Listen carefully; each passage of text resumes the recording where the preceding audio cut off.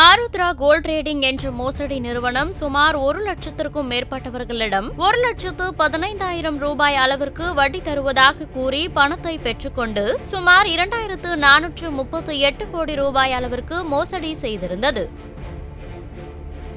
இந்த விவகாரம் தொடர்பாக பொருளாதார குற்றப்பிரிவு போலீசார் வழக்கு பதிவு செய்து விசாரணை மேற்கொண்டனர். இந்த வழக்கில் பாஜக நிர்வாகியாக இருந்த ஹரிஷ் என்பவரும் கைது செய்யப்பட்டார். மேலும் இந்த வழக்கில் நடிகர் மற்றும் தயாரிப்பாளருமான ஆர் கே சுரேஷுக்கு தொடர்பு இருப்பதாகவும் நடிகர் ஆர் கே சுரேஷ் பதினைந்து கோடி ரூபாய் வாங்கியதாக குற்றப்பத்திரிகையில் தெரிவிக்கப்பட்டுள்ளது. ஏற்கனவே தலைமறைவாக இருந்து வரும் ஆர் கே சுரேஷ் ஐந்து கோடி வாங்கியதாக தெரிய வந்த நிலையில் மேலும் நடத்தப்பட்ட விசாரணையில் அவர் பதினைந்து கோடி ரூபாய் வாங்கியது என்பது உறுதியானது. மேலும் ஆருத்ரா கோல்ட் ட்ரேடிங் விவகாரத்தில் ஐநூறு முகவர்கள் மூலம் எண்ணூறு கோடி ரூபாய் வசூல் செய்யப்பட்டிருப்பதாக விசாரணையில் தெரிய வந்துள்ளது செய்திகளை உள்ளது உள்ளபடி தெரிந்து கொள்ள ரெஃப்ளெக்ட் நியூஸை சப்ஸ்கிரைப் பண்ணுங்க.